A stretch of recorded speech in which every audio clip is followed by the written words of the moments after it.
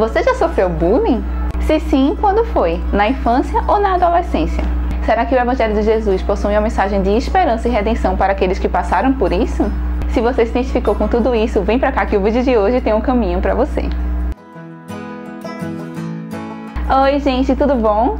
Meu nome é Manuela ou Manuzinha nas redes sociais e se você já gostou do tema desse vídeo, se inscreve aqui embaixo e não esquece de ativar o sininho. Bem, um tema sobre o qual tem se falado muito ultimamente é o bullying. A série 13 Reasons Why trouxe à tona esse assunto. Eu não assisti a série, mas eu sei que ela fala sobre isso, eu sei que ela conta uma história bastante trágica e que tem bastante a ver com essa questão do bullying. Nos últimos tempos também tem se falado no desafio da baleia azul e como isso envolve mais adolescentes, a gente naturalmente associa essa questão do bullying também. E eu percebi que eu tenho uma história para contar em relação relação a isso. Eu percebi que eu tenho uma história de superação em relação ao bullying, mas é uma superação um pouco diferente. É a superação que somente o Evangelho pode trazer. Vale dizer que nesse vídeo aqui eu vou falar sobre esse tipo de bullying que é mais leve, esse bullying pelo qual todo mundo passa na infância, na adolescência. Eu sei que há tipos muito mais fortes, muito mais agressivos, inclusive envolvendo agressões físicas. Então, se o bullying pelo qual você passou é esse, eu acho que a abordagem seria um pouco diferente da que eu vou dar nesse vídeo. Mas certamente o conteúdo que eu vou falar aqui vai lhe abençoar bastante também e eu espero que Deus fale muito ao seu coração. Bem, o bullying em relação à minha pessoa sempre residiu primordialmente em dois aspectos de mim: meu jeito e minha voz. Desde pequena que eu tenho esse jeito um pouco feliz e alegre e infantil. E eu realmente nasci assim. Isso é uma coisa que tá em mim desde sempre. Mas aparentemente nem todo mundo gosta de pessoas com esse estilo. Porque desde criança, que seria uma época que você pensaria que a pessoa poderia ser infantil, afinal ela está na infância, que há pessoas que não entendem esse meu jeito e que fazem bullying comigo por causa disso. Eu lembro de uma situação muito específica em que eu cheguei na condução escolar que eu usava para ir ao colégio. Eu acho que eu tinha uns 7 anos de idade. E eu tava muito feliz porque eu tinha acabado de completar o meu álbum de figurinhas das Chiquititas. E eu cheguei super empolgada lá e queria mostrar pra todo mundo, né? Aquela alegria, aquela coisa toda. E eu lembro que tinha uma garota nessa condução que ela simplesmente me desprezava. E eu não fazia a menor ideia por quê. E eu lembro que eu sentei na frente dela e mostrei o álbum, né? Toda empolgada. E ela me ignorou completamente. Engraçado que você criança, você não percebe exatamente o que está acontecendo, né? Então eu cheguei em casa triste por causa disso, falei com minha mãe sobre isso, mas eu não sabia exatamente o que estava acontecendo e por que ela tinha feito isso comigo. Mas o foco desse vídeo aqui é no outro bullying que eu sofria, que era o bullying em relação à minha voz. Bem, você já deve ter percebido que a minha voz não é exatamente a mais bonitinha de todas, não é mesmo? Ela é meio irregular, às vezes ela é muito grave, às vezes ela é muito aguda. E essas são coisas nas quais eu tenho trabalhado porque eu quero melhorar nesses aspectos, porque eu não acho isso bonito. Mas durante minha vida inteira eu escutei pessoas falando mal da minha voz, falando que ela era feia, falando que eu falava muito alto, que eu falava muito rápido, e isso ainda acontece hoje que eu leio os comentários de vocês. Mas eu vou melhorar nisso. Inclusive, uma das formas desse bullying, que é uma coisa que de certo modo ainda mexe comigo até hoje, é essa questão de você falar uma coisa e a pessoa repetir fazendo uma voz mais fina. Vocês certamente sabem como é isso, porque em todo grupo tem alguém que faz isso com alguma pessoa. E essa é uma coisa que quando fazem comigo atualmente, raramente fazem, mas quando fazem eu fico, não faça isso, não faça isso.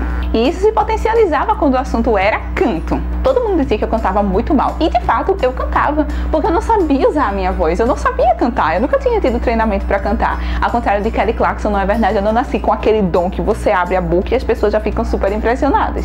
Então eu cresci com esses comentários e tudo isso foi me deixando muito insegura em relação a falar e principalmente em relação a cantar.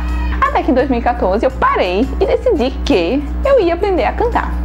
Se você também tem essa ideia de que o canto é um dom, que se a pessoa não nasceu cantando bem, ela não tem jeito, eu queria dizer para você que isso não faz o menor sentido, porque o canto é uma habilidade e sendo uma habilidade pode ser aprendida.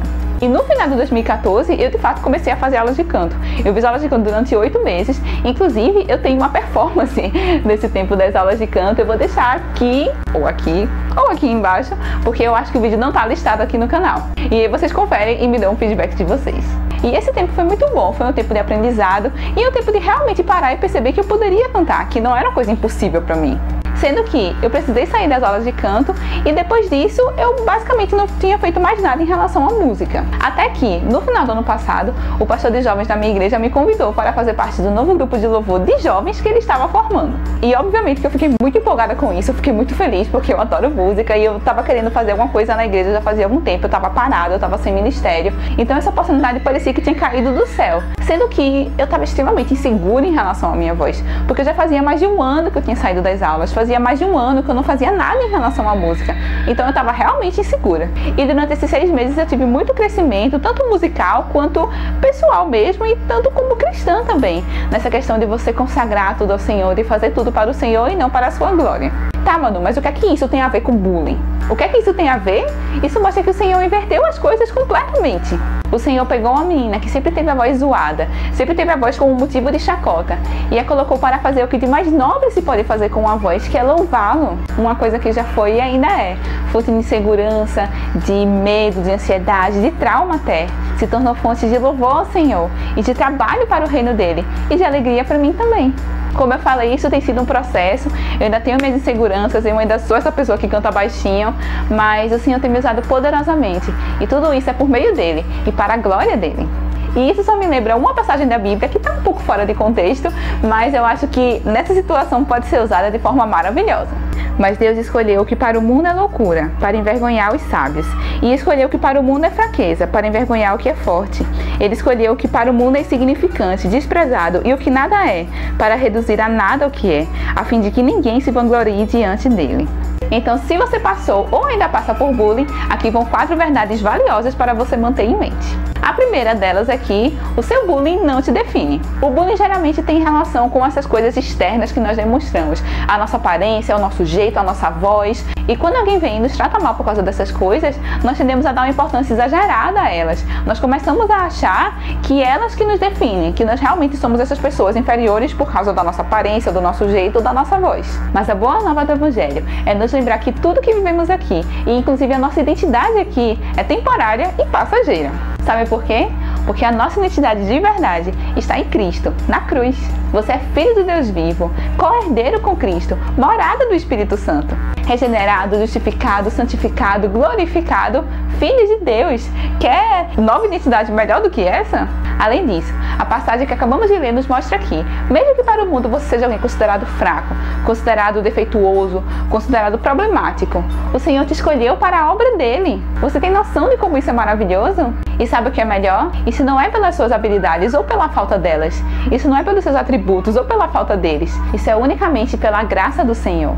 Se para o mundo você precisa ser linda, inteligente, alta, magra, sexy, em resumo, atingir um padrão inalcançável de perfeição, o Senhor não está nem aí para isso. Ele está muito mais interessado na boa obra que tem sido feita no seu coração e que Ele mesmo vai se encarregar de completar. E isso é libertador.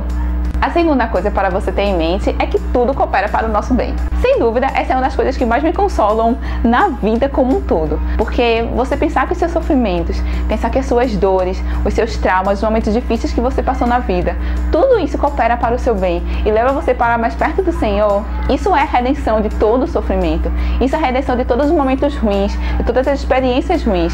Isso é a redenção da dor mesmo, das consequências do pecado. Às vezes é difícil de colocar isso em prática, mas esse é um tesouro precioso que nós temos em Cristo. O fato de que Ele transforma tudo para o nosso bem. O Senhor já te redimiu por completo, não só você, como todas as situações pelas quais você passou na sua vida. E essa é uma das maiores verdades das quais devemos nos apropriar.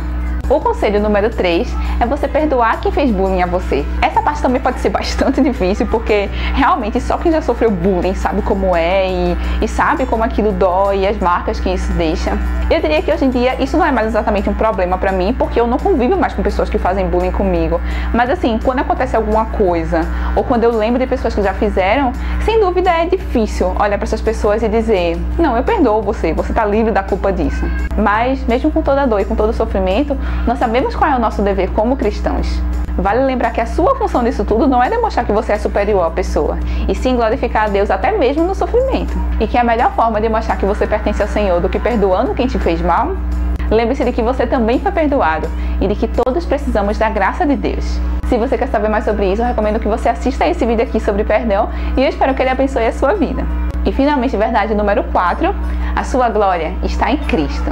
Nesse contexto de bullying, de pessoas que passaram por bullying, eu vejo muitos conselhos do tipo: acredite em si mesma, você é melhor do que isso, você é melhor do que essa pessoa que fez bullying com você, você vai conseguir superar, há poder em você para superar isso. E eu entendo que esses conselhos são ditos em um contexto em que a pessoa quer ajudar a outra, quer realmente fortalecer, quer dar uma palavra de esperança e de consolo. Mas essa não é a verdade que as Escrituras têm para nós. Simplesmente porque nós sabemos que não somos nada, nós não merecemos nada e até as nossas melhores obras são lixo diante do Senhor.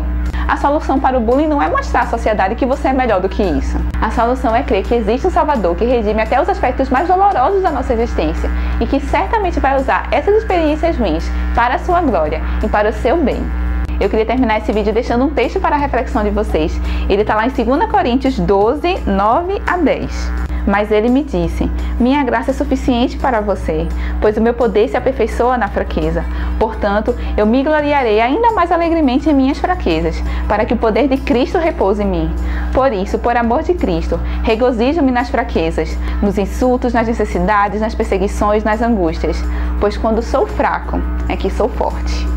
E é isso, pessoal. Espero muito que vocês tenham gostado desse vídeo. Eu quero convidar vocês a compartilhar esse vídeo no WhatsApp com aquele grupo de jovens da igreja, com aquele grupo de amigos mais próximos, de repente com alguma pessoa que você sabe que passou por essas situações de bullying e que, quem sabe, sofre com isso até hoje. Manda esse vídeo, compartilhe essa mensagem. Vamos espalhar aqui essa boa nova da redenção através do Evangelho. Em qualquer lugar, sempre tem alguma pessoa que sofreu bullying de alguma forma. Então eu conto com vocês para que essa mensagem chegue a essas pessoas, tá certo? Se você de repente passou por um tipo de bullying mais forte que deixou marcas em você até hoje, eu recomendo fortemente que você procure um aconselhamento de uma igreja genuinamente cristã, uma igreja focada na palavra. Eu recomendo alguma igreja presbiteriana, porque são igrejas que realmente têm foco na palavra. Eu quero dizer para você que não importa o que você tenha sofrido, não importa o que você tenha passado, o poder do Senhor para curar tudo isso e redimir tudo isso ainda é muito maior do que tudo pelo que você passou. Não esqueça de me seguir nas redes sociais, os links estão aqui embaixo. E se você está chegando por aqui agora, mais uma vez, não esqueça de se inscrever e de ativar o sininho aqui embaixo. Que Deus abençoe muito, muito, muito vocês. Um beijo gigantesco e até semana que vem. Tchau, pessoal!